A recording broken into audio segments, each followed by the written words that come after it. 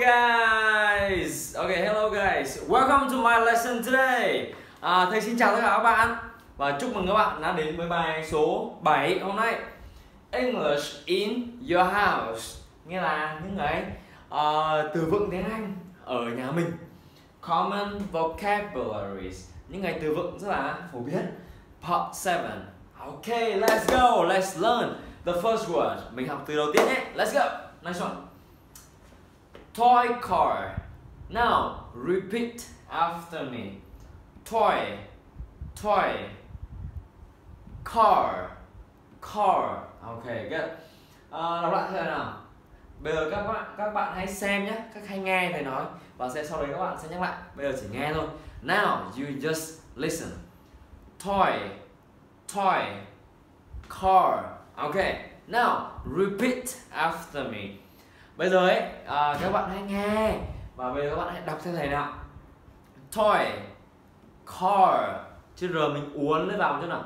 Car, car nghĩa là ô tô. Ok. Toy nghĩa là đồ chơi thì đồ chơi ô tô đồ chơi thì mình sẽ gọi là toy car. Ok, good. Now repeat after me two more times. Hãy nhắc lại cho thầy hai lần nữa nhé. Hai lần nữa. Two more times. Toy, car, get toy car, toy car, get chữ r cuối thì mình hơi uốn lên vào car, không đọc là kha nhé, đó là car, car, toy car, get. So whenever you see a toy car, you say toy car, okay? Thì uh, khi nào mà các bạn nhìn thấy cái ô tô đồ chơi thì mình sẽ nói nó là toy car hoặc là cái xe hơi bình thường ấy, gọi là car. Thì khi nào mình đi ngoài đường ấy thì mình thấy xe hơi thì mình sẽ nói sẽ, nói là gì ạ? Car. Ok. À good. Next one. Light. Good. Now L sound. What should we do with the L sound? À, bây giờ âm L ấy thì mình sẽ phải làm gì nhỉ? Với âm với chữ L chữ L mình sẽ phải phát âm là gì ạ? Good. Mình sẽ uốn lên lên move your tongue up. Okay ok, hãy làm lại theo theo thầy nào. Light. Đồng thời âm ti ở cuối thì mình phải phát là âm cuối nào. Good. Đọc lại thầy. Now repeat. Light. Good job. Good. Bây giờ mình nghe lại một lần nữa. Nha, nghe, chỉ nghe thôi. Just listen. Light. Good. Now, repeat after me. Hay bây giờ hãy nhắc lại. Repeat. Như là nhắc lại. Light. Good job. Good job. Light. Uh, let's see. Uh, light như là cái gì nhỉ?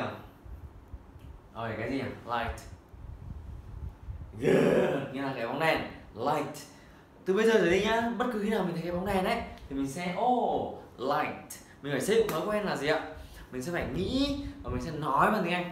So please build the habit of think and talk in English. Okay. And if you can do that, you can learn English all days long. Nếu như mình có thể nghĩ và mình có thể nói bằng tiếng Anh, mình có thể học tiếng Anh cả ngày luôn. Và cái rồi mình sẽ rất là giỏi tiếng Anh nhá. Ok. Now, one more time. Light. Good. Now, repeat after me.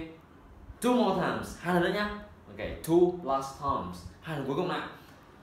Light. Awesome. Light. Good. Next one. Okay, vase, vase. Okay, vase. Alright, vase như là cái bình hoa. Okay, bình hoa thì mình gọi là vase, vase. Now, please remember the V sound. Bây giờ các bạn nhé, hãy để ý là âm V ấy, thì mình sẽ Ok, giống như âm F thì mình răng trên này, cắn môi dưới này, thổi ra. Nhưng âm V ấy thì nó rung họng đó. Vase vase. Vase. Vase. Như là cái. Cái gì nhỉ? Vase như là cái. Vase. What does it mean? In Vietnamese. What does it mean? Như là nó có nghĩa là gì? What does it mean? In Vietnamese. Như là bằng tiếng Việt nó nghĩa là gì nhỉ? Awesome. Wow. Really good. Well done. Bình hoa nhé. Thì gọi là vase. Vase. Alright next one. Playing Repeat. Plant pot. Plant. Bây giờ hãy nhắc lại thầy nào.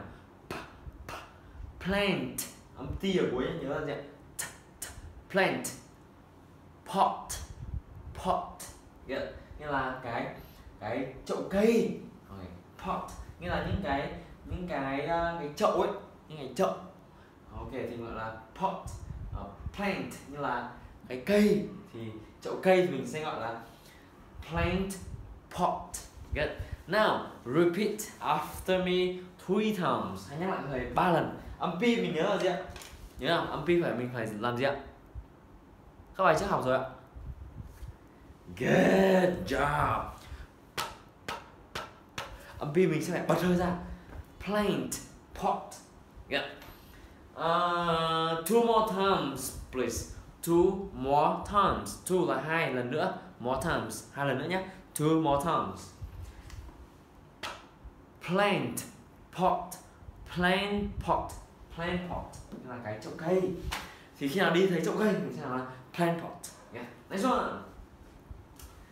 Gum. Ok, âm g này, hầu hết người việt mình đều phát âm nó chưa chuẩn lắm. G g, gum. G g. Dùng họng chứ nào? G g g gum gum là um, kẹo gì nhỉ? Good job kẹo cao su thì mình sẽ nói là gum ok. For example uh, this one is gum ok.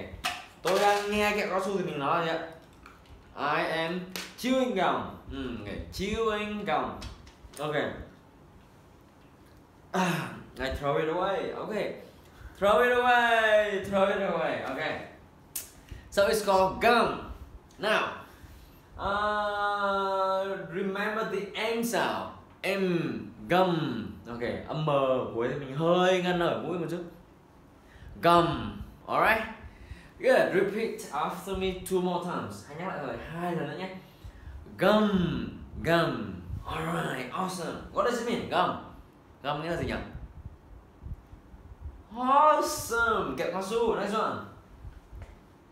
Detergent ok ông này mình sẽ lên giọng chữ tơ nào? Đọc lại thế nào. Detergent. Detergent. Như là cái bột bột giặt. Ok, detergent hoặc là hoặc là nước giặt cũng được, gọi là detergent. Detergent. Good. Now repeat after me two more times. Hãy nhắc lại thầy hai lần nữa nào. Detergent. Detergent. Alright next one blender get blender. Uh, repeat after me.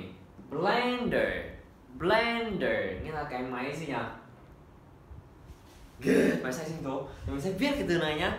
Ờ, mình để uh, dán ở chỗ đặt cái máy xay sinh tố ấy. Thì hàng ngày mình thấy mình nhìn thấy máy sinh tố. Thì mình sẽ nói là blender blender. Alright. One more time please. Một lần nào one more time. Blender good next one. Tray tray. Repeat. Tray.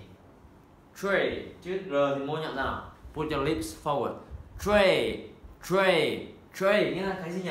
Cái yeah, cái khay hoặc là cái mâm mình gọi là tray. Mình ăn cơm ấy thì mình sẽ nói oh tray. Next one close. Remember the sound close. Close. Âm z nào? Close. Close. Như là ghê quần áo nói chung now repeat after me two more times close close close good next one Oh, that is the end. Eh? Now we review everything really quick. Là mình sẽ ôn tập lại tất cả mọi thứ rất là nhanh. Now let's go. English in your house. Common vocabularies. Next one. Hãy nhắc lại có thể nào. Uh, listen and repeat after me. Toy car. Good. Next one. Light. Light. Next one. Vase. Vase. Next one. Plant pot. Next one gum gum next one detergent detergent next one blender blender blender yeah, next one tray next one clothes next one oh good job that is the end and uh, before like I finish this video remember that winners never quit and quitters never win. Alright. Winners never quit. Nghĩa là những người chiến thắng thì sẽ không bao giờ từ bỏ. And quitters never win. Nghĩa là những người từ bỏ thì không bao giờ chiến thắng. Các mẹ và con đã bắt đầu thì hãy cố gắng hoàn thành cái chuỗi video này và mình sẽ sẽ giỏi tiếng Anh Alright, goodbye guys, see you again.